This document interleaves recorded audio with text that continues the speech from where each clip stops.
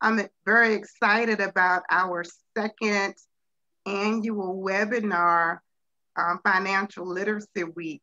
So we're excited. We have two great speakers on tonight, and I will introduce them later. But before we get started, I want to um, share a video to give you some history about um, the North Carolina Negro Women's Council for our visitors and to remind those of us who are members how blessed we are to be a part of this prestigious organization. Um, Sister Margie, can you play the video for me? Yes. Good evening. Um, again, uh, as I said, we're glad that um, you are here. We will give you a little history about the National Council of Negro Women and also Alamance Guilford section.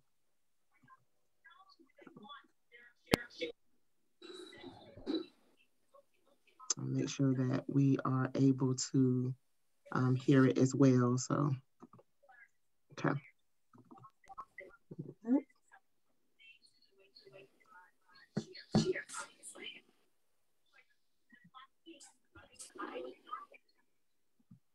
In these times, we feel that in order to achieve the goal of civil and human rights for all, it is necessary for women of all races and creeds to know and understand each other. The National Council of Negro Women Incorporated was created and led by a woman of immense vision far beyond the understanding of the times. Dr. Mary McLeod Bethune knew what a powerful force women of color could be if we were organized and focused. Having been involved with many established organizations, such as the National Association for the Advancement of Colored People, the United Negro College Fund, Jack and Jill of America, and the Association for the Study of African American Life and History. She knew it could be done. Not to mention creating a school from a one room building outside of Daytona, which was called Bethune Cookman College and is now a university. While all of these individual organizations were moving in a positive direction, she envisioned something greater. Thus, in 1935, the National Council of Negro Women was born, an organization of organizations. By 1938, NCNW coordinated regular visits to the White House to bring attention to the need for more black female administrators in the U.S. government, and the organization was involved in the formation of the Women's Army Corps that led to the desegregation of the military. In the 1940s and 50s, the organization was led by Dorothy Boulding Ferebee, an obstetrician and a civil rights activist, and Vivian Carter Mason, a city administrator devoted to social and political reform. Mrs. Ferebee and Mrs. Mason overcame the obstacles, and under their leadership, NCNW lobbied for women's rights they fought racial discrimination and established a national health care system. Sometimes a leader will arrive who will forever change an organization. Dr. Dorothy Irene Height was that leader. She was chosen to lead the organization in 1957 while being one of the major architects of the civil rights movement. She achieved nonprofit status for NCNW and shifted our focus to advancing our standard of living. As the godmother of the civil rights movement, she stated, Empowerment is the most important thing we can give ourselves. Change comes not at the direction of a nation, but at the insistence of its people. It was her vision to purchase the building at 633 Pennsylvania Avenue as the new home for NCNW. And in the year 1996, that objective came to fruition. We came to love her stories, and we loved her smile. We loved those hats that she wore like a crown, regal. Following the passing of Dr. Dorothy Height in 2010, former teacher, news producer, and prison administrator Dr. Barbara Shaw stepped up to be the national chair. Her quest was to keep NCNW moving forward. And through her steady leadership and tenacity, we did just that during a critical time. In 2012, Ingrid Saunders Jones was unanimously elected to be the sixth NCNW National Chair. She stepped into the NCNW leadership role and successfully steered the organization to firm financial footing with an emphasis on future growth. Miss Jones' mantra, NCNW is alive and well and solvent, became a rallying call, along with her passion to build a stronger Black America. And it was evident in NCNW's direction. Four for the Future focused on education through STEM, health disparities in communities with HIV and AIDS, financial literacy for entrepreneurship, and public policy through public engagement. When Dr. Johnnetta Betsch Cole was unanimously elected the seventh president and national chair one year ago, she challenged the organization to meet two specific goals. This organization is poised to be more intergenerational and to be more prominent nationally and ultimately internationally. Having presided over the only two colleges for women of color in the U.S., Spelman and Bennett, Dr. Cole understands that to reach its full potential, NCNW must have deep roots as well as emboldened wings. You need to look back in order to go forward. The folk who grew me up said, you can't know where you're going if you don't know where you've been. Dr. Cole is responsible for launching Girl Tech, a symposium for women in technology that reaches across the country in order to share ideas, mentor one another, and network within the industry. The inaugural year of the HBCU tour has sparked interest in over 3,000 high school students and is already in the planning stages to overshadow this year's effort. I might be able in this period, working with others, to bring NCNW more prominently back on the national scene. There should never be a convening around a table, certainly having anything to do with black women where NCNW does not have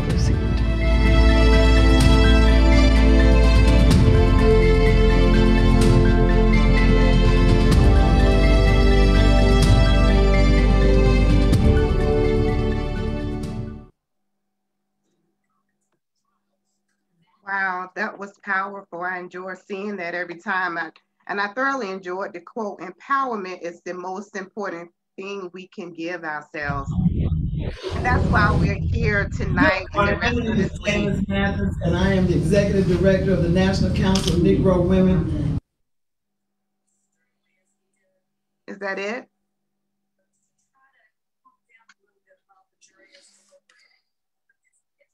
Yes. Yeah, and this is the reason why we're here on this week um, to be empowered with all the vital information that's going to be shared. And I want to start off by giving you the bio of our two facilitators on tonight. Our first facilitator will be Lystra John. Um, Lystra is the first generation born to immigrant parents in Brooklyn, New York. Lystra was introduced to finances at a tender age of 16 by way of program in her high school, which landed her a job on Wall Street. At the age of 18, Lystra encountered her first year not billing taxes and was not happy with the results. That experience led her to start doing her own taxes and then friends and family.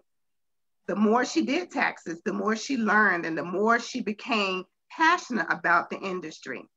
With more than 20 years as a tax preparer, she realized that her peers had a fear of taxes and the IRS.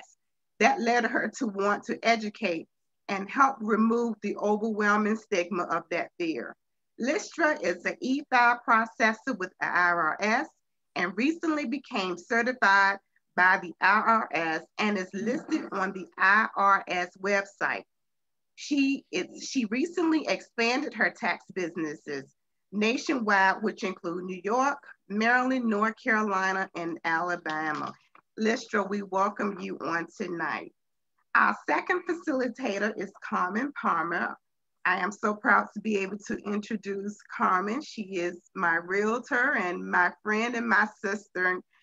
Um, Carmon was born and raised in Eden, North Carolina before becoming a resident of Winston-Salem in 2003.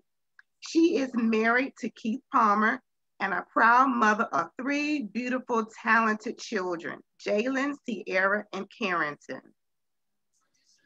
She is also uh, professionally, she has been in sales for over 21 years and previously held professional licenses in life and health, health insurances before being licensed in the real estate through the North, the, through the state of North Carolina in 2016, 2006, I'm sorry. Um, she's a top sales associate for 20, uh, Century 21 and Coldwell Banker until 2013. Carmon stepped out on her faith and opened up her own real estate firm, Master Key Realty, a multi-million dollar producing full service real estate brokerage firm located in Winston-Salem, North Carolina. She has been recognized by her peers and colleagues by numerous accomplishments and awards in the real estate industry. In 2018, Carmon and her husband Keith purchased RE/MAX franchise, becoming the first African American RE/MAX franchise owned in the Triad.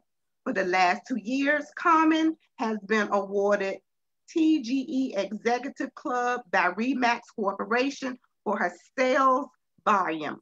She's actively involved in her community. She empowers others to actively serve and engage in their community by volunteering. Over the years, Carmon has set mm-hmm. up distribution sites for food, water, and clothing, clothing to help those in need throughout Forsyth and Rockingham counties.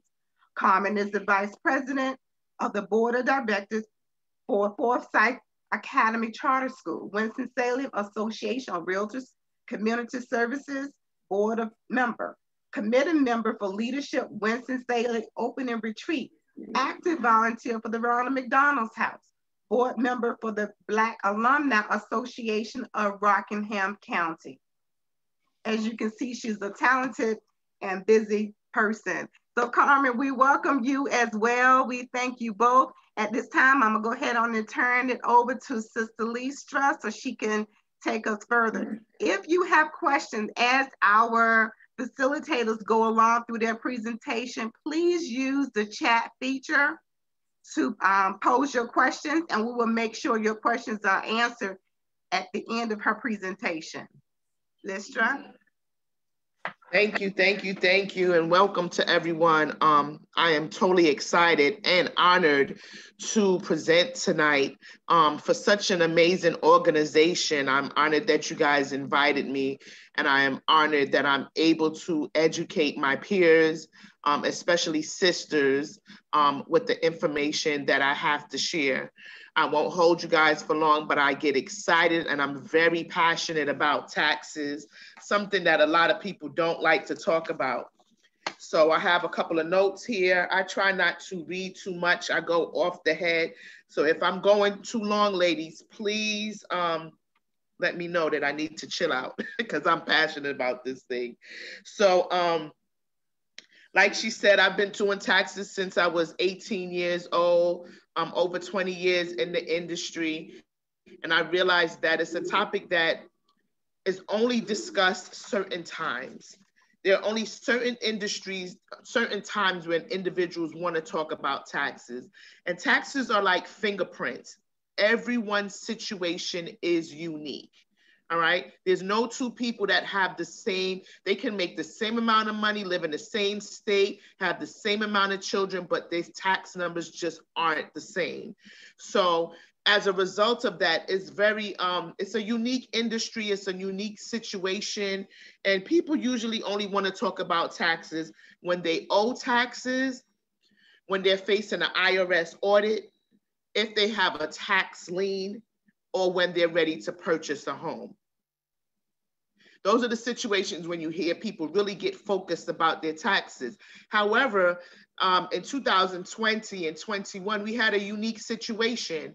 Um, we, we were faced with a pandemic. We were faced with a lot of people working from home, and the government made a lot of changes. And a lot, one of those changes was a lot of people were um, starting to receive stimulus checks, and they were determined by individuals' taxes that's when I seen the increase. Um, I, I, apologize, y'all. My son is using the um, air fryer. um, that's when there was an increase in interest and conversation about taxes. Um, why do we always have to wait until a, situa- a situation or crisis comes to discuss something that we have to deal with every day? All right. So um, what happens is there's two set of tax law. There's two, two sets. There's one for the individual and there's one for the person that has a business owner. All right, that's it. Now, you can fall into both categories, and I'll tell you briefly the difference between the two.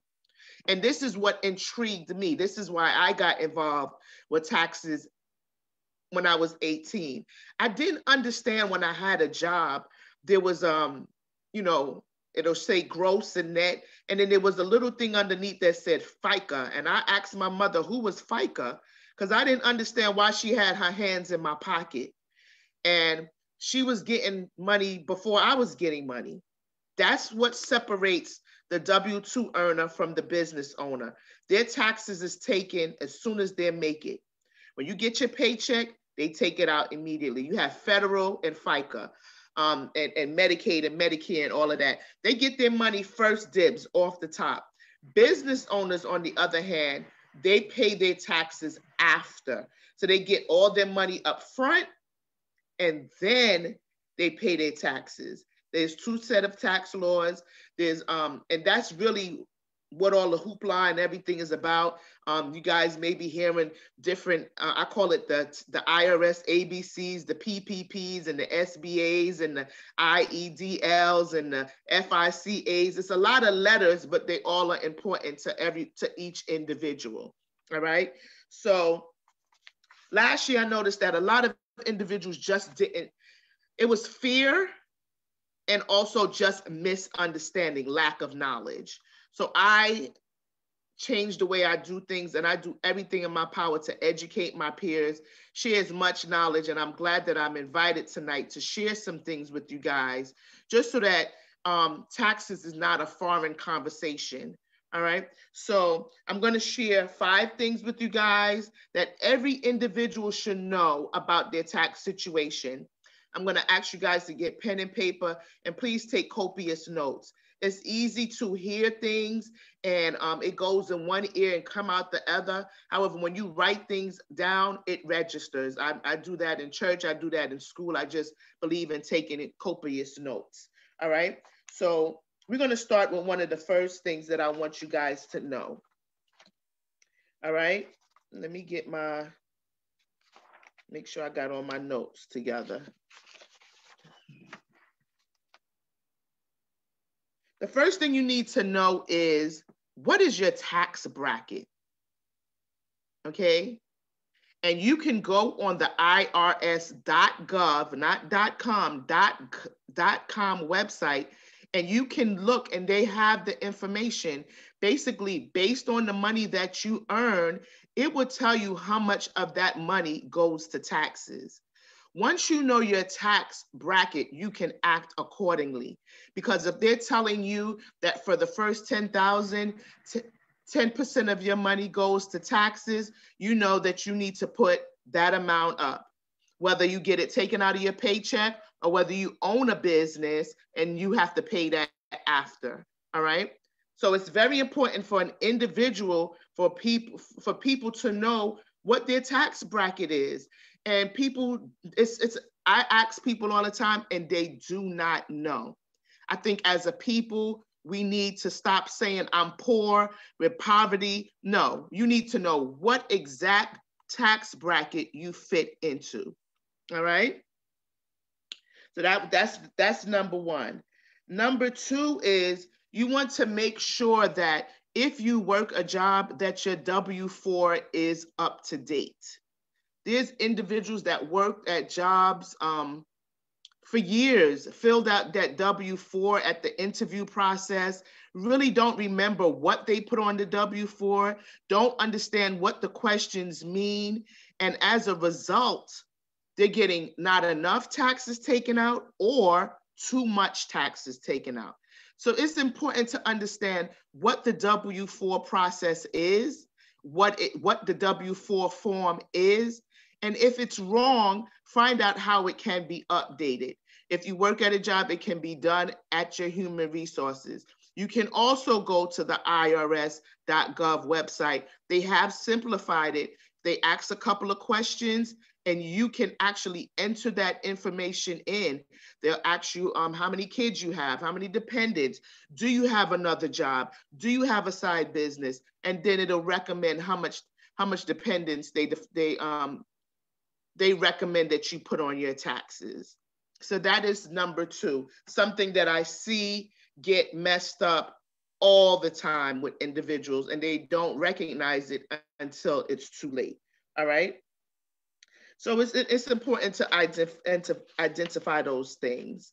Um, let's see what else I have here. It's important to quali to, to um to know so I went over, it's important to know whether your, um, how much taxes is getting taken out of your check. It's important to know what is your, um, your filing status. Are you single? Are you married filing joint? Are you married filing separately? Are you a widow? Are you the head of household? Different filing status determine how your taxes, the outcome of your tax return.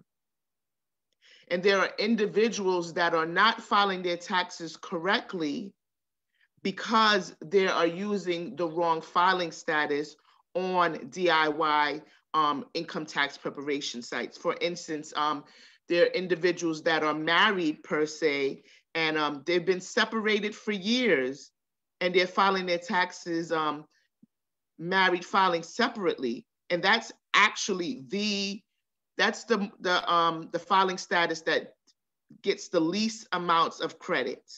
So you want to make sure that you're filing your taxes. If you're not using a tax professional and you're, you're doing it DIY, that you know your filing status. Are you head of household? What qualifies as head of household? Are you a widower? Last year, we had a lot of people, thousands and thousands of people that lost um, individuals and their family due to COVID. Well, how do you file your taxes when you have a deceased person in your life?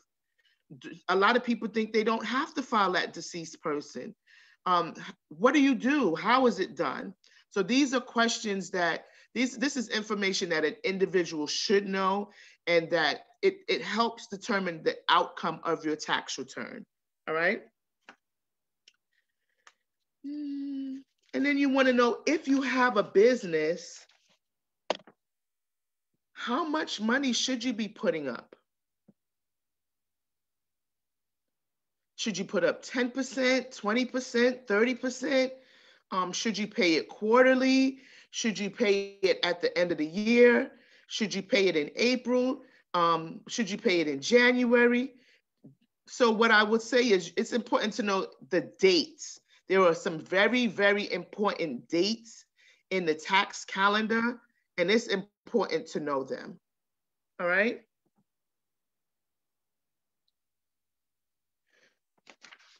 I got, I think, two more. You want to know if you owe taxes. You want to know if you have a tax liability. All right. There are individuals that have not filed taxes for years, but they have W-2s that all that information is sent to the IRS and they have a tax liability. there are individuals that have situations such as child support, student loans, um, and then all of a sudden they get hit four or five years down the line with a tax bill. So you that is something that you can also get on the irs.gov website. So what I would say is to each individual that's on this Zoom call tonight, um, go on the irs.gov website, become familiar with it, learn how to pull your tax transcripts. It's your information. Make sure that information is accurate. Any question that you need to know, there's a search bar. You can type a question in on the irs.gov website. And a lot of the questions that a lot of individuals have, you can get that answer right there on the irs.gov website. Okay. Um, you got to know what's going on. You really got to be up to date. Another thing that I want, the last thing I want to share with you guys, this will be the last one, um, is that there's there's there's a there's a tax there's a tax date there's a date that's very very important to every individual it's like you start over and that's december 31st the new year starts January 1st. So you want to make sure that um, whether you want to make sure that the amount of money that's taken out your checks is, is right. You want to make sure that you record what's on your, if you own a business, you want to make sure that you track your mileage. You want to make sure that all those things you record December 31st because January 1st, it starts at zero and you start all over again. April 15th is when taxes is done, is, is when taxes are due for the in a normal year. But if you have to file an extension, then it becomes October 15th. It's important to know those dates. One piece of advice that I would give to everyone um, is please, please, please do not be that person that does not file. If you're supposed to file your taxes, it's better to file. There's a 5% penalty every day that you do not file. As opposed to you filing and having a balance with the IRS, and you can work out either a payment plan or you can set up some type of arrangement with them. But the, the penalties on your paying on your balance that you owe is 0.1%. So it's one penny per day. Whereas for not filing, you fail you you you face a non-filing fee, and that is 5% every day. And those fees add up. And if I had to choose between paying 5% every day or a penny per day on what I owed, I would definitely take the penny. So don't fear the IRS. Don't fear taxes. And if it's a situation where you don't know what to do or you don't know where to start, you find yourself a licensed and certified tax professional. And the way that you find one that's certified by the IRS is you go on the on the IRS website, you put your zip code in, and the ones that are certified will pop up. I am honored to say that I am featured on that website. I do have my certification, and I realize that in my zip code per se, I am the only one. So there's a lot of people that do taxes. There's a lot of people that just enter numbers. There's not a lot of people that's certified by the IRS. Make sure you get someone that you can trust. Make sure you get someone that's educated and make sure you have someone that lets you know what's going on and has your best interests at heart. My name is Lystra John. It has uh, been an honor and a pleasure to be with you guys tonight. And I am I am opening up the floor to any questions that you guys may have. Thank you, Lystra. That was a lot of wealthy information. We certainly appreciate you on tonight. There are a few questions in the chat. Um, the first question is, how can an outdated W-2, W-4 form affect a person taxes? Okay, so it's not a matter of it being outdated, it's a matter of it not being updated. And what happens is say your scenario changes, whether you got married or at the time that you filled out your W 4, you had four children, but now your children are grown, your situation has changed, and you're actually not either, number one, not getting enough taxes taken out of your check, or reverse, getting too many, too much money taken out of your check. So it's important to know what, what you should be having and I think that an individual should definitely review that on a yearly basis. Okay, two part question.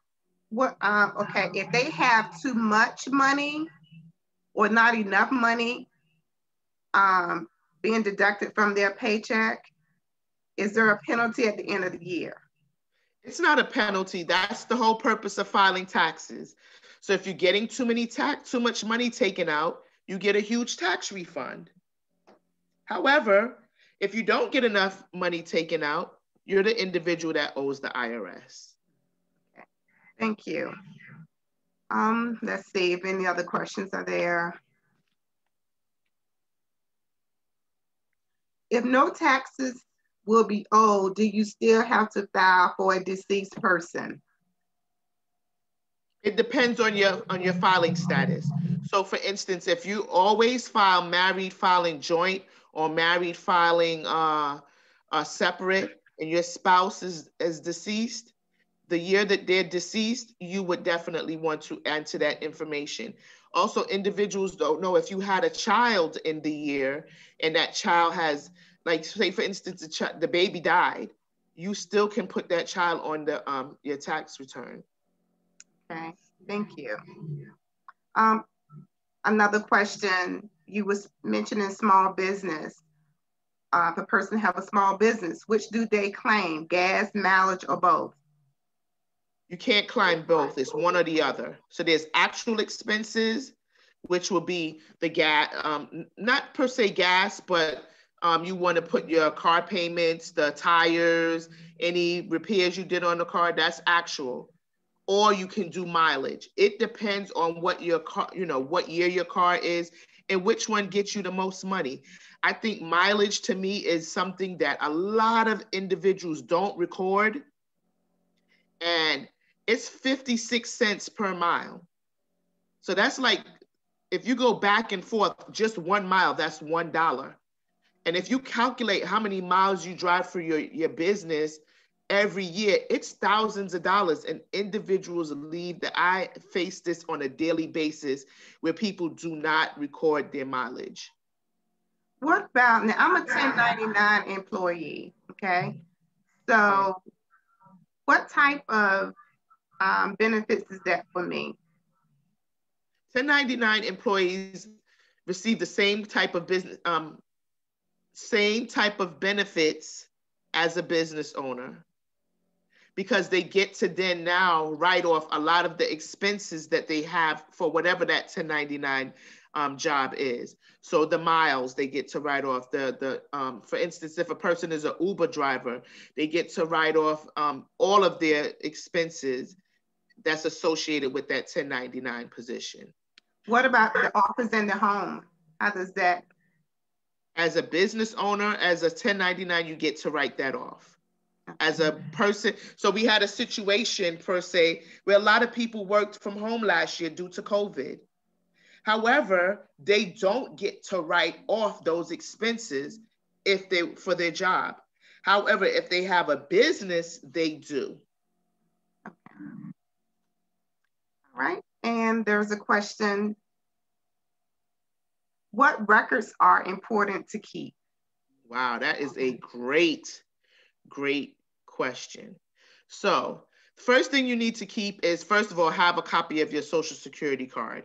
There are individuals that write their numbers down and they um and they they transpose the numbers.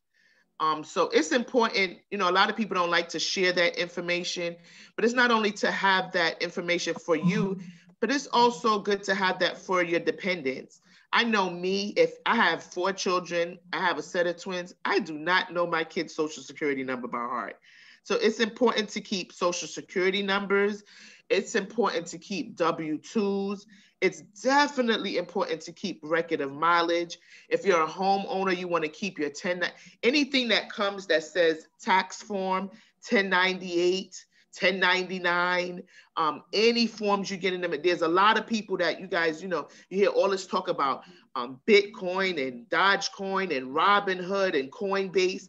They send forms at the end of the year. Also, individuals that get stock, um, that do um, savings bonds, anything that, or um, if you have money in the savings account, you'll get a 10, uh, a 1098 INT or 1099 INT. It's important to have keep the, all of those records. IRS rules is you should keep your records for seven years. Now I want to revisit back. There's a two-part question um, going back to um, the deceased person, filing for the deceased person. Um, yes. The deceased was 87, no husband, and always filed as a single individual. But the first part of the question was, if no taxes will be owed, do you still have to file for the deceased person who was 87, no husband, husband and always file as a single individual? Only if if they have no taxes owed, then it serves no purpose. Okay. But if they and, and the only person in that case that can file for them is someone that has power of attorney or um, owns the estate. Okay. And um, Carmon Ham was raised.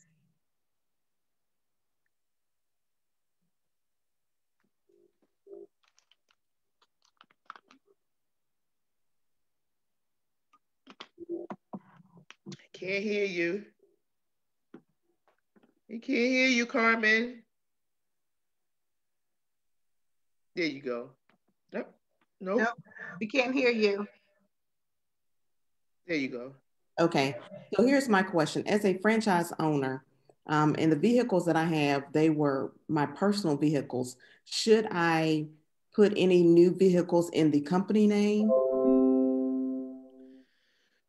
As a franchise owner, okay, whether it's in the company's name or not, the question that's going to be asked is Is the car used for business purposes or personal use? If it's used for just business alone, you can just that car, all the expenses are for business. So it all dep- depends on what you use the car for. It doesn't matter whose name it is is in. Okay. Um, then I was misinformed. So I'm glad I asked the question. And the reason again is because the one vehicle I primarily use as a business vehicle, even though I'm the business owner, but I, am also a realtor and um, I do Schedule K. So that's why I was asking.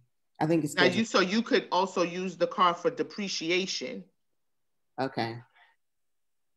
So it all depends on your. Like I said, taxes are like fingerprints. Everybody's situation is different. It all depends on what your particular situation is. And in your case, I would say that you can definitely put it down as depreciation. Depreciation, now that you brought that up, is something that a lot of people don't realize that, um, and we and, and a lot of us don't take to our advantage. I'll give you guys a scenario. Last year, we dealt with quarantine and shutdown. And in the first year that you own your business, you're allowed to write off um, all startup costs the first year in business. So just imagine someone that was excited about 2020 started, decided they wanted to open up a restaurant, spent 20,000, 25,000 to get this business started. February, they're getting ready to do their grand opening. In March, they get shut down. And they're shut down for the whole year. They are allowed to take the first, they're allowed to put $5,000 on their tax return as a loss, and they're allowed to write off the balance of it. So that's $20,000 for 18, for, um, for five years. So, and a lot of people don't do this. So even though you took a loss, you might not be able to take all of it in the first year, but imagine next year being able to take some advantage of it. And the year after, and the year after that, and then you'll be able to at least be able to depreciate that over a, a, a length of time. Thank you. And another question on the table. How could a person's income show a difference of $10,000 i.e. 47,000 in 2019 and in 2020, 57,000. They made more money. they either received a raise, they either worked more hours, um, they got a bonus. There could be so many situations in where there, there's a $10,000 increase in income. They're not, you know, they could change their, um, for instance, maybe um, in one year they were getting um, their health insurance and all of that taken out, and then the next year they decided to change that. So it all depends on the different scenario. I have a question. Yes. I'm the lady that that question came from, and none of that happened to me. I don't have any recollection of uh, a bonus uh, as such. um, so I'm just baffled uh, by that. That's why I was asking the question. I put it on the table because um, uh, I don't understand it. So of course I'm going to human resources about it. Yeah, that that that would be the first question to find and get a breakdown. Like what mm-hmm. what makes up that um that that income? Where do they get those numbers from? Right. I'm Terrell, by the way. Um, Lystra. Thank you. No problem. I will do that. There's another question. Are there any minimum income profit or expenses, etc., you have to reach to file taxes as a business or freelancer? Anything over $600 must be filed.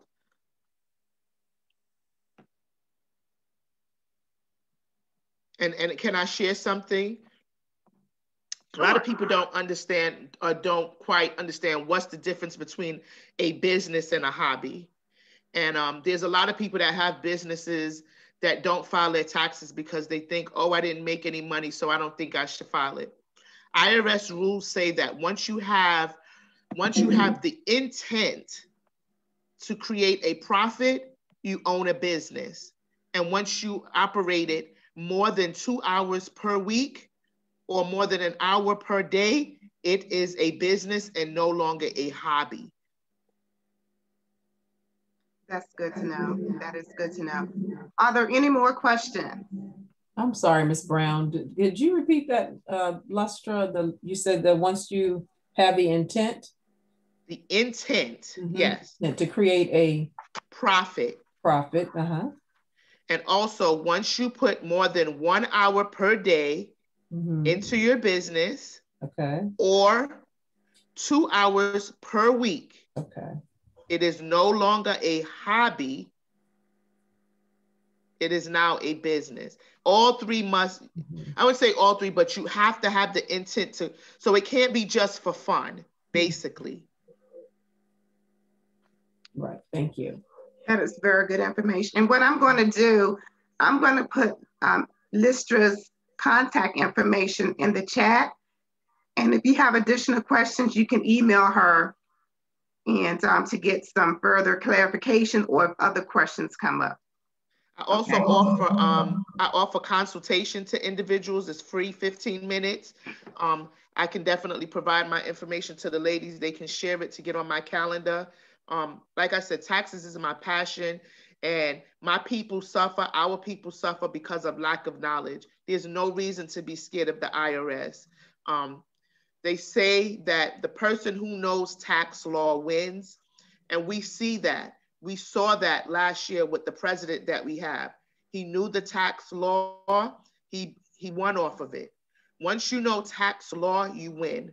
And it's nothing to be scared of. So true. And I am, Mar- yes, Margie, I am Margie McLean's tax preparer. awesome. Lystra, thank you so much. Thank, thank you, you, thank you, thank you. Thank you. Yeah, this was awesome. This was amazing. I learned so much tonight my, myself, and I'm, this was just awesome. Wealth of information. So without further ado, I'm gonna turn it over to Carmon Palmer, and she's going to talk to us about additional finances that will be useful in our lives. Carmon? Thank you. Thank you, ladies, so much for having me as one of your presenters tonight. It is an honor to be here. Um, I'm going to set my alarm because I don't want to go over. I'm a talker, I'm an evangelist, so I can talk all day and all night. It's like in a boxing ring with Mike Tyson. So I am um, 47 years old, and at the age of 23, my husband and I started flipping homes. We were able to go to the bank, and it was no problem for Bank of America to issue us a $36,000 check. Um, so we had no inkling of how great our credit was until something happened in our life that challenged our credit. And so um, a lot of what I know about credit is due to me being a realtor, number one, and then also walking down that path. Um, my great grandmother, Nanny Martin, out of Eden, North Carolina, she used to say that the only good thing you have is your name. And I didn't understand that until I was probably 30 or 27, 30 years old. And then I understood if you have credit, and most, and, and Lystra can probably attest to this, most wealthy people do not use credit, they'll pay cash for things. So then there's that small portion of our community that will go to somewhere like a Rent-A-Center or um, a place where they will not pull your credit a lot to get to establish credit. And one thing that we've taught our three children was to, um, in, in credit, you don't need a credit card your freshman year of college. So you don't need to have, you don't need to incur a lot of debt. And you want to make sure that you keep your credit file spotless and you do not have to pay these people. There are signs all over. I'm in Winston-Salem, North Carolina. So there are signs all over the city, you know, free credit repair. We can help you for a minimal investment. Um, I actually did that by default years ago. I think I was probably 27 at the time. And then I said, nope, I understood the credit laws, the Fair Credit Reporting Act, and I knew what to do because, again, in my profession, I see people all the time that want to purchase a house, but they do not have that 640 credit score. And in order to purchase a home, you need a 640 credit score, although FHA says you only need a 585. The mortgage companies put an overlay as a protector over top of what FHA says that is governed by the government. So FHA says you only need a 585, but your mortgage company is saying you need a 640. Some, I do have a company that will take it at a 585, but that's neither here nor there. So you want to know what's on your credit report. You want to make sure, you know, back in the day, um, I'm not saying me, but I had cousins that used their children's social security number. Um, I made sure that when I had children, that my children's social security number was put up. And as a matter of fact, it's still in the bedroom top drawer they had to know their own social security number or they had to keep their card once they became responsible. But you want to make sure that you check your credit report every year. And there's you can get your credit report free at annualcreditreport.com. That's annualcreditreport.com, or and I had to write it down. Um, or you can call 1 877 322 8228. And you are entitled to get your credit report once a year for free. And there are three credit reporting agencies. Um, we have Experian, Equifax, and TransUnion. And we talked about the FICO. You, you, you, we also have something called FICO. That is your credit score. The lower your credit score is, the higher your interest is going to be on a car or on a, a mortgage loan. And so when we talk about credit, we want to make sure that we keep our credit polished you know, all of us ladies, we like nail polish. This is, you can hardly see it. My, um, my cousin is my nail tech. And so she talked me into this little pink color. I like a red color like Sister Terry has on. I love red nails. So when you talk about your credit, you want to make sure that you keep your credit polished, is that it's clean. So here's one thing that you need to do. You need to look at your credit report. If you see something on your credit report, especially a medical bill, or um, anything medical, you want to establish a plan. Once you know what your credit score is and you look at it, you say, hey, that's not mine. Um, for instance, my husband had, there's another gentleman in Forsyth County with the same name as my husband, although he's Caucasian. And my husband, of course, is Black. Um, and we found out because we started getting phone calls all of a sudden. And that's why we went to no landline um, they were calling the house asking for this Mr. Palmer, and I'm going, no, my husband doesn't have that credit card. I know what credit cards that man has because every once in a while I might use it. But anyway, you want to make sure that there's nothing negative reporting on your credit report. If it is, you have the right to dispute that. But let me tell you, when you dispute it, and this is critical, so take a note here. If you dispute something on your credit report, make sure it's not about to fall off because they keep things on your credit report for seven years. Call it the seven year itch or, or the bad seven years. So if something is going to fall off, we're in April now, May of 2021. You do not want to go and dispute that. And the reason why is because it will start your seven years all over. But if you need to dispute something, I suggest that you do it in writing. Number one, because everybody has internet. Back in the day, I'm, I'm, I'm gonna tell you this, this story right here.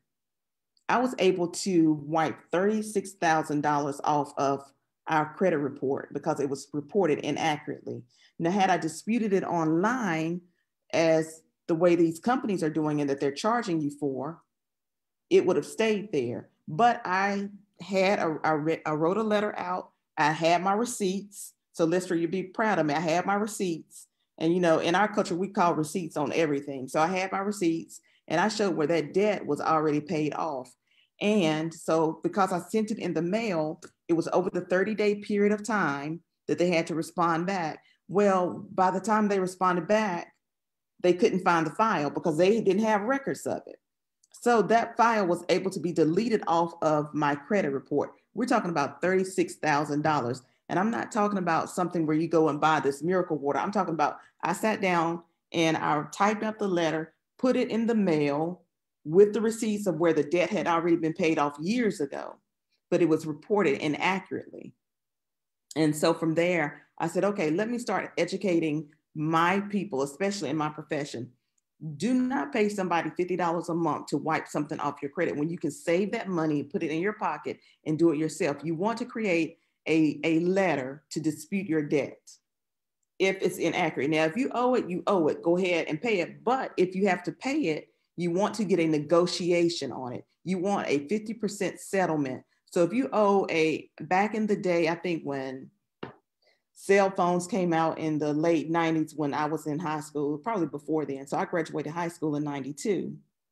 So you get a cell phone, and back then, cell phones, they were reporting if you were late or anything like that. You could dispute that if you had a cell phone bill that you knew was inaccurate. You could dispute that cell phone bill with a settlement. So if the cell phone bill was, they said you, say Verizon said you owed $1,400, you call them up and say, you know what? I do not have that $1,400, but what I do have is $700. Will you take a 50% off settlement? If they say yes, you ask them to send you that settlement in writing. You want everything in writing, and then do not send a check into them until you get that letter in your hand. Once you get that letter in your hand, you send the check, make copies of everything, keep it for your records, and send it back to them. And then in that same letter, you want to ask them to remove that negative entry off of your credit file.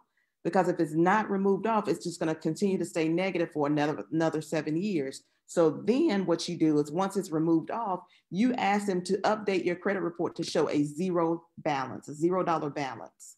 Okay. Again, this is critical, especially when you're getting ready to purchase a car or a home from me. Don't go nobody, don't go anywhere else. That's a shameless plug. But when you get ready to purchase a car, we want to know what's on there. My husband in 2018 went to purchase a brand new Silverado, and it was ironic that the salesman, which was another African American, he leaned over and he asked my husband, he said, How's your credit? And my husband was like, I don't have an issue with my credit. You can run my credit. He said, Well, I have to ask because a lot of people come in here and they don't want us to run their credit because they have all these things on there. Again, you'll get a higher interest rate with if your credit score is, you know, in the 400s and, and 500s. So you want to dispute that at annualcreditreport.com. You want to write a letter to those credit bureaus once you dispute it, if you're going to do a settlement, do it for 50%, 50 cent. Just think 50 cent on every dollar. That's going to save you money. That's more money that you can save to put up for, for whatever you're looking for. Okay. Know your dates. So I'm trying to keep my notes here. Know your dates. Do not dispute it if it's about to fall off. It stays on your credit report for seven years. And for the love of, of, of for the love of love, do not go out and have a lot of hard inquiries on your credit. So you, um, there is in during college time at the beginning of the college, they will have a lot of different banks, Wells Fargo, Bank of America come out. Oh, we'll give you a two liter soda if you apply for our credit card. Guess what? You don't need a two liter soda that you can buy for 99 cents. It's going to pull your credit down by 25 to 60 some points. And the more they pull your credits, that's a hard inquiry. You do not need those hard hits because they will show up. And a soft inquiry is okay. So, for in my world, when a per- person is purchasing a home, they can bounce from lender to lender within a 45 period day of time, and that would be considered a soft pull. But before they bounce to a new lender, I always tell them if you know your credit score, tell that new lender what your credit score is. Let them determine because there's there's funds that you could get for purchasing a home. Uh, that's a whole nother lesson. But you want to make sure that you settle for 50% or less on your debt. Make sure they send you a letter that says that they will agree to that settlement and that they will update your credit file to report a zero balance effective the date that they receive your money. And if you want to, you can actually, if you don't want to send a check, I always say send a check or a money order. You want a paper trail. You want to be able to have a paper trail. Okay. So do that. Um, but get everything in writing. Know your date, um, the dates that they're on there. Medical right now does not hurt as bad as it used to, but student loans now count as 1% of your debt to income ratio. So you need to know again, if you're going to purchase a house, what your debt to income ratio is. If you're not going to purchase a house, don't don't worry about that. But you do need to know if that old Annie Penn hospital bill is going to fall off next month or if it's going to stay on there and ask them to negotiate. If they say we don't have any record of it, well then who has my record? You ask them that. And then if they keep giving you, so for instance, some um, some companies, there's a company out of Greensboro on Elm Eugene Street, not Elm Eugene, Smith Street, downtown uh, Greensboro. They are a debt collector. So they may have something from one medical office. And then once they get your name and address off of one, they're going to almost put in like a search party. They'll put an APB out on you. So you want to make sure that your information is accurate and that it doesn't go to someone else's house because you don't want your nosy neighbor picking up your bills or or a threatening letter. Now you can also tell them, excuse me, while you are repairing your credit, you can say, you know what, I did not receive that bill from you. Would you be so kind as to mail me a copy? Do not email me. Don't give them your email. No, not right away because they will blow that email up. Ask them to mail you a copy of that. And before you answer any debt collector, do not give them your personal information. If a debt collector is calling you to, um, to about a bill you owe and they ask you your name, tell them you called me. So you tell me what is my name. If they say, well, we need to verify your social security number, do not give anyone your social security number because they can use that social security number and run up debt in your name. You do not, you, that's why it's important to go to annualcreditreport.com to know what's on there. But you want to you want to pull your credit report once a year to make sure that it's accurate. And, and it's it's absolutely free. It's absolutely free. So you don't have to pay for it. Back in the days, I used to live in Atlanta and you would have to pay Experian to pull your credit file. Um, and once you have started disputing things, you will notice that there's a pattern. If one thing comes off, it's almost like a domino effect. The other things come off, but you have to make sure that your dispute letter is accurate and that it says the same thing. You know what? I do not owe this bill, or I owe this bill, but I'm only willing to give you 50, 50% of what the balance is. Do not negotiate any higher than that. Don't say, oh, I'll give you 75% because you don't want to, you know, deal with them because Jeopardy is coming on and you want to watch Jeopardy. No, 50, 50% of the balance. That's what's on there. And make sure that you have it in writing. Any questions so far? I'm gonna take a sip of water.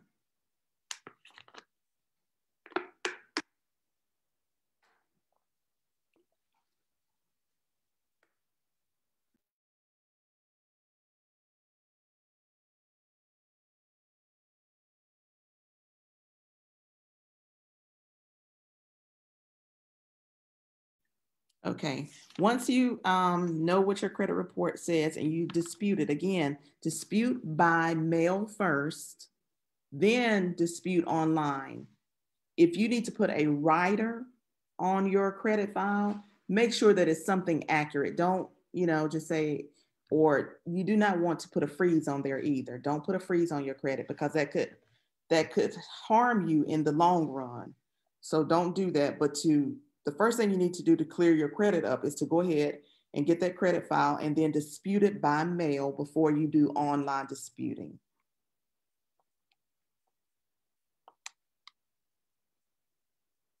And do not pay these companies to do what you can do for free. Save that money. That's all I have, Lady Brown. That was a lot. And that was very, very helpful because in our Black community, a lot of times we run into situations where credit is an issue and it keeps us from getting properties and cars and, you know, things that we really need. So that was very good information that we can definitely live by and share this information. Please, please, please share the information that you received tonight. Share with your children and your grandchildren because financial literacy is um, it's like a heritage that we can leave our children. Instead of leaving our children with debt leave them with something that that can they can use in their future and just share. Sometimes we need to sit down and have conversations.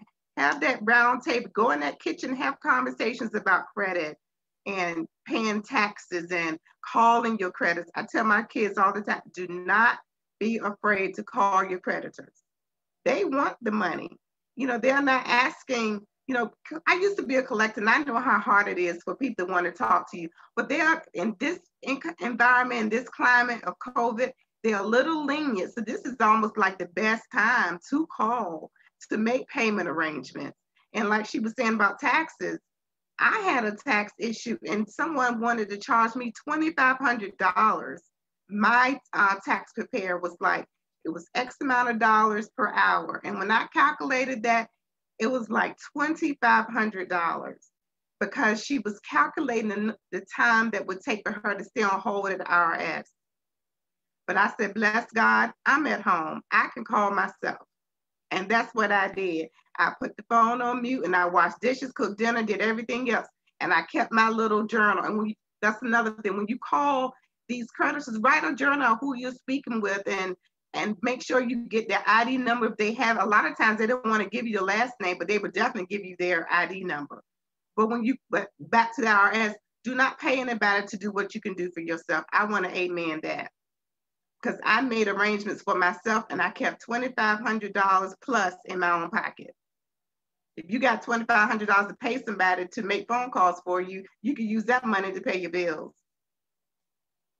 So we have definitely had a lot of good information. So let's see, we have some questions. We have some questions. Let's see. Let me scroll up here. Okay, this is a great question. Do you advocate using CCCS, Consumer Credit Counseling Service, if a person is overwhelmed with credit card bills? Um, the only time I use them is when they are purchasing a house. So I, I mean, I want to keep them employed because that's their job. But a lot of times, what they're going to do is tell you basically what you can Google online these days. It's oh, and I forgot to say that. So I'm glad this question came up. Keep your credit card minimum, your balance um, at 10% of your high balance. So I'm not a math person. So let me let Lystra give me an example of, you know, well, I'm sorry, 25%. So if it's, um, I, I'm not gonna mess y'all up. So if it's a thousand dollars, you wanna make sure that your credit card balance is down below 750. Okay. And the reason why, again, that's gonna keep your credit score revised. You wanna have revolving credit score. And um, I forgot to mention one other thing. I just saw it in my notes of notes here. Credit Karma is, is okay, but it does not give you the accurate. That's just like Zillow doesn't give you the accurate on what, what the value is. So Credit Karma is okay, but if you need to establish credit after you've already paid your credit off, um, I would suggest getting a secured card through your bank or a Discover card or Capital One. I was going to say Capital Hill, but it's Capital One. so Capital One or um, it used to be JC Penney, but again, you don't want high interest rates. You, the, the goal is to keep you out of credit debt and those blemishes off your credit report. So once you do have your credit restored, you can go back and get a, a smaller credit card. I, the secured card is better. And the reason why, because you can do that through your bank and you can put the money in as in your savings account, you know, a $500 limit. And then you want to make sure that they report to all three credit bureaus. That's the number one thing. So once you start disputing, make sure that all three bureaus are updated. Because sometimes they don't don't coincide. So you want to make sure that they do that, okay? Awesome, awesome. Lystra, did you have a question? Woo, I don't have a question. I'm excited. Um, Margie will be able to tell you guys that I actually um, I own a credit repair business. What I used to own a credit repair business, and what I realized I own I started my credit repair business because I was one of those individuals that was just scared of my credit score it, it, was horrible i was the person that wanted the it's at macy's when they said you get 10% off if you apply and um and then i'll do it in victoria's secret and then i'll do it in every store that i went into and then i had all these cards and then of course when i was in college they give you a free pocketbook or a free handbag or a folder if you and i had all these credit cards and I no one educated me about credit. So I thought when they gave me five thousand dollars, that I had $5,000. I didn't know anything about only use 20% or 30% because that's not conversations that were held in our community. Last year, I decided that I didn't want to do credit repair anymore. I wanted to do credit education. So I mm. love, love, love this topic. It's just second in line next to taxes. But what I wanted to share is one thing that hurts um, credit I would say the most is late payments. Late payments hurt you more than anything. So um, I, I give a scenario usually when I do my, my um, and I'm sorry to, to jump into credit, but I just figured it was an open forum. Let me share. Um, say you have a situation where you have a credit card bill that's due, you have Duke Energy that's due, and you have rent that's due, and you're like, I don't know which one should I pay first. Everybody knows Duke Energy is going to take a payment arrangement. So if I had to choose between paying my Duke Energy bill or paying my credit card bill, I would pay my credit card bill or I will contact the creditor and I will let them know listen, I'm dealing with something. Is it okay that I change the date? It's important to communicate with your creditors because that late payment mm-hmm. is, especially Carmon could tell you with purchasing a mm-hmm. home. I just purchased a home last year. Little things like that, like sting. It's like a bee sting. It's like, oh my gosh, I paid one bill late and it, it can't come off your credit report. So the best thing to do is avoid it. Now, um, I'm going to stray a little bit just because this is financial literacy, and I do see that I see a lot of mamas on the on the um on the Zoom because I zoomed out so I could see everybody's face. Um, I also work for Amazon, and I and I and I'm one of those people. If you guys you go through your phone and you just get all these spam unlikely calls don't let those people call you and scare you. Even creditors. Mm-hmm. Don't let them call you and scare you.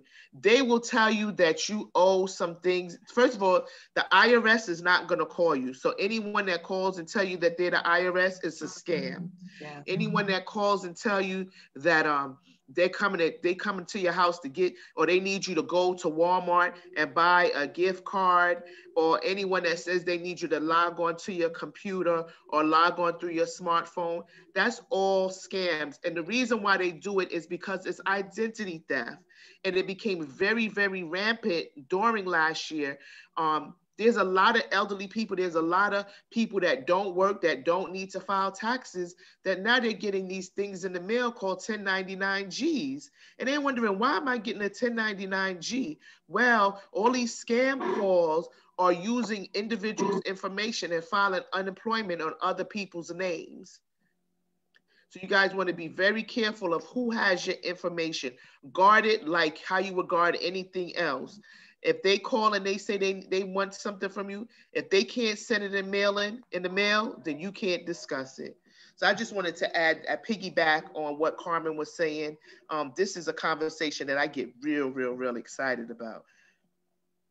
Uh, can I uh, real quick on that? Um, I'm a witness to that.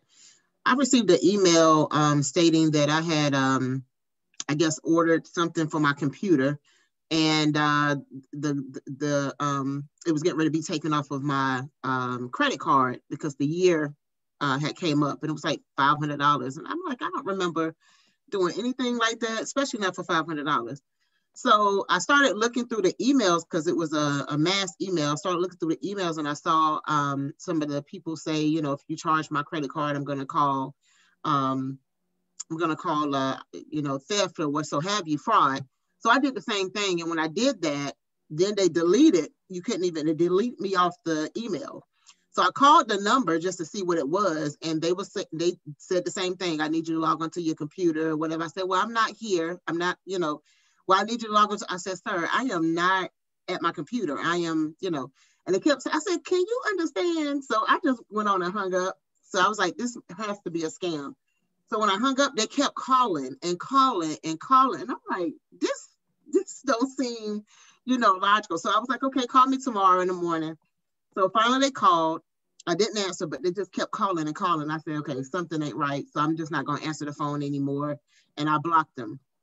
So I figured that was some type of scam to get my information because now you want me to log on. And every time I, I just told you I was not at my computer, it was almost like they didn't hear nothing I said. They just wanted me to log on somehow. And then when I tried to go to the website just to look them up, it just looked like a scam website. So I just figured, yeah, this this this is nothing. So um, I'm glad you uh, mentioned that as well. So what they do is they log into you. They have you log into your computer or your smartphone and they basically wipe off everything off and they have it in their system and they're mm-hmm. able to get mm-hmm. access to your name and your this and mm-hmm. all your personal information and they're able to do lots of things whether use your credit or use your identity mm-hmm. to do fraudulent things with so it's very important that you protect those things um, anything that that sounds too good to be true is just not worth it um, I know at my job, I, I, deal with it every day. I have somebody say Amazon just called and said that um somebody tried to buy a five hundred dollar iPhone and they need me to log on to my phone to my computer, but and then in order for them to log into my computer, they need me to buy a gift card from Walmart yeah. for fifty dollars. And these people yeah. are running to Walgreens and Walmart buying these gift cards because they scared somebody scamming them when they're actually on the phone with the scammer. Mm. Yes. That's what happened to me last December. I was one of the ones that was involved with the, um, what is it? Uh, iPad, Apple, the Apple scam. I was one of those people. So yes, what you're saying is absolutely correct. Carmon, thank you so much for all that vital information. Again, we just thank you across virtual lines. We're clapping. We oh, appreciate oh, you oh, ladies for giving us one little thing. Okay. Like Lystra said, keeping the notes. So I have a folder from 2003 where I disputed those claims and they came off. So if they ever pop back up, I have the folder. It's a yellow folder that I just pull out with the note in there that said that those shouldn't have been on there. So keep your documents, keep your records.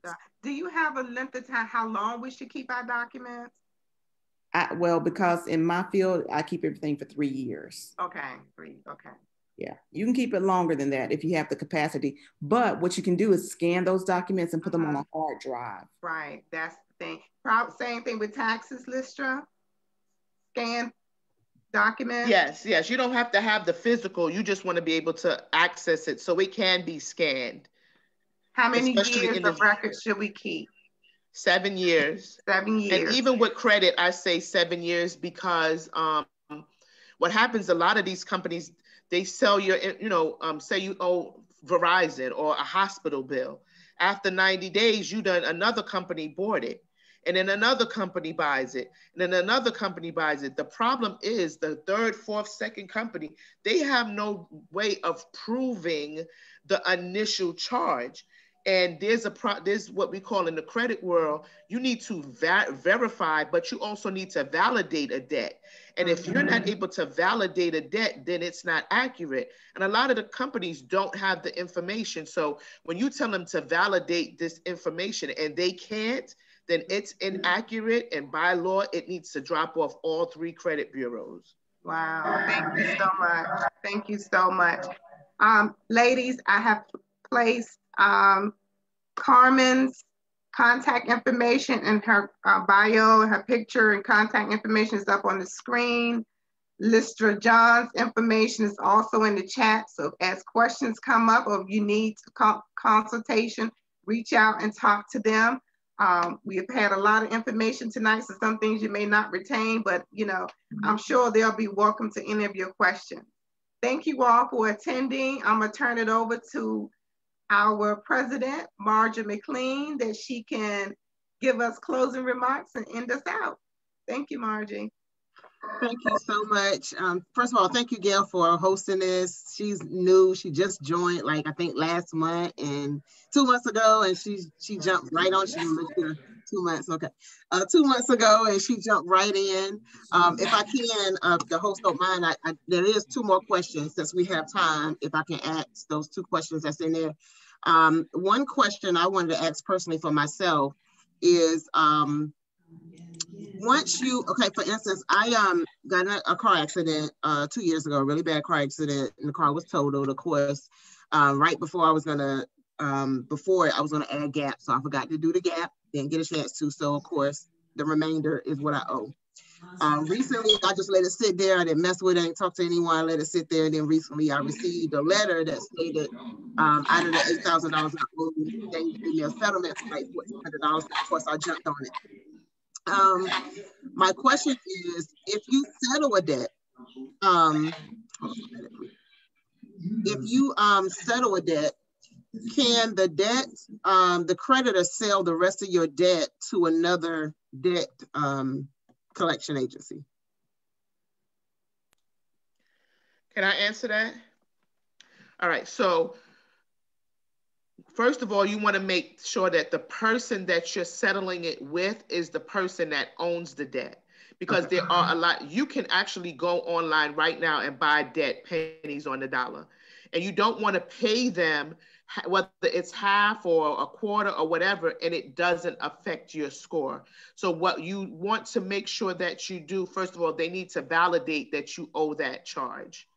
So, they need to prove it you ask them, can you please send me some information in reference to this charge? So you want to make sure that it's going to the right, that they have the right information. Also, you want a debt to settlement letter. So like Carmon says, um, if I pay this debt, is this going to come off all off of my credit report? And if you can't guarantee that, then I, because it makes no sense to pay it if it's not going to affect your credit mm-hmm. and then mm-hmm. it's still there. Mm-hmm. So you want to make sure that you're paying a legitimate company and that it is indeed that they're making a, it's called a promise to pay, you know, debt settlement letter, any of those, make sure that they're actually going to take it off. Okay. And if they're not, then don't pay it. Okay. That's just how, you know, that would be my advice. Thank you. And do and not give them any okay. personal information as far as credit card information. Right. Okay. validation. So, okay. because here's the thing I hate to say it, but sometimes um, if you um, you'll have a call from someone that may be overseas, right? You, you want to make sure that they are someone you know that is legitimate before you say, "Oh, here's my credit card number, pay it off." Well, you don't want to pay off a debt with a credit card anyway. So, yeah, normally I tell them I'll just send the payment in, and they ask for, um, you know, like your either your bank information or your debit card. I said no, I'll send a check or whatsoever. Um, the other question is, do late payments fall off after seven years? They do. Okay. They do. Okay. All right. And also, I used to be a skip tracer um, back in the day. Y'all probably don't remember this. Oh, yes, I do. I do. so I was the credit manager, um, and we would do skip traces on people. And we would go to that little machine, type in their name, and it'll tell us their latest addresses and everything. And, you know, we would start calling relatives. You know, when you do a credit application, they ask you for next of kin and whatnot. So if you're going to put somebody's name down, make sure they know you're putting it down, but, you know, pay the bill first. So. All right. There's two sets of information that's very important in the home buying process. Very, very, very. Make sure that your credit is right and make sure that your taxes is right. Those two pieces of information makes it very easy to purchase a home. Lystra, I can't wait to talk to you offline.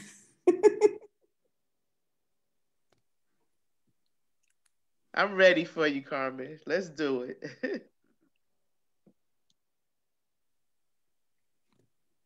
President Car Margie? I'm here. Okay, it's all on you. Close this okay. out. All right, so one, I'd like to thank you again for coming. I appreciate it. Can y'all hear me? Can you hear me? Yes. Okay. I'd like to thank you for coming. I really appreciate all the information that was received. It was helpful for me. Um, I would like to thank again our um, host. If y'all can give her a hand virtually, thank you. Lystra, thank you so much. You, this is your second time with us on our um, financial um, web uh, literacy week. You came to our first one. We had it in Burlington. It was awesome. That's really how I, I think I kind of met you. I can't remember exactly. I think it was on Facebook or through someone. Um, Ms. Carmon, um, Ms. Palmer, thank you so much for the information. Um, I definitely will be contacting you as well. Um, I know we have a few members that's hey. on um, the call. So yeah, let me call you back. I'm listening to a, um, a financial workshop on Zoom. Right. Um, so um, before we uh, get started, uh, before we leave, I would like, I think my our state president, Ms. Queen DeGraffrey is on, if she would like to have some, some words. Oh, I don't know what to say. This has been great we got to make sure that our collegiates and our young members get on for the rest of this week, Margie. Yeah. Uh, and I'm going to send out an email to the chair, third vice president tonight to send out to all those young folk because they need this information up front, not when you get in trouble. Right. And uh, and so I'm going to send that out so she can contact all of them. Uh, also, I want to recognize and thank two of our other section representatives. We have the first vice president of Metro Greensboro, uh, Miss Maxine Terry is representing that section, and we're glad she's on. We have Sandra um, Sandra Crop, the president of the Durham section on yes. as well. And we don't, this is not just uh, Alamance Guilford County thing. This is a North Carolina thing. Matter of fact, it's a United States thing. but we really want to make sure that our members in North Carolina and our associates get this information. Uh, I'm an old program planner, so I can look at how much work and time had to have gone in to putting this together for a week. Mm-hmm. So as state president, part of my responsibility is going to be is making sure that people benefit from it. This is one of our national uh, thrusts. Economic empowerment is one of National Council of Negro Women's thrusts. And Margie hit it on the, on the head. This is where it starts. This is where it starts. We don't have to be spenders all of our lives. We can be investors and we can think strategically and get things done and be financially solvent. You can be poor and financially solvent. You can be middle income financially solvent. You can be rich and financially solvent. And we need our young people to understand that. But thanks so much. I'm going to try to get more of our people around the state on tomorrow night. And on behalf of the National Council of Negro Women, and that includes our national office, I want to thank the Alamance Guilford section, its members, and the presenters who were excellent for this great uh, webinar tonight. Margie, back to you. Thank you. Thank you again. If you are interested in um, joining NCNW, National Council of Negro Women, we do have a section in the Greensboro Alamance um, High Point area. We also, again, we have two sections actually. One is Metropolitan um, Greensboro, and we are the Alamance Guilford uh, County, which we uh, represents the county um, line and also High Point uh, as well as some other areas as well. If you're interested, you can email me at alamancegilfordncnw at gmail.com. If you're not in the Guilford County um, area or Greensboro area, we do have other sections. Um, also, email me so you can find where those sections are um, that you would like to join. Um, and it would be great to have you and come on board with us. Uh, the work is needed in the community, and we need um, people like you to come in and work with us. Um, we are also starting a youth section as well for young ladies 12 through 18, and but uh, young men can also join as well, and men can also join our sections as well. Um, one of our the things that our national membership chair said, Mr. Glenn, is if you get the men in, you will get the women. So we want the men to come in and support us as well. So I thank everyone from joining. Tomorrow we'll have Miss Tasha Drummond. I don't know if she's on. Uh, I think saw her on. We'll have her on as well. She will be um, speaking um, to our youth and our collegiate area, um, younger um, members of our community as well as their parents to talk to them about credit and how they can save their credit. I think Ms. Palmer um, or either Lisa touched on it about um, us getting those credit cards because I was one. I just signed up just to sign so I can get a free shirt. And then all of a sudden I got all these credit cards.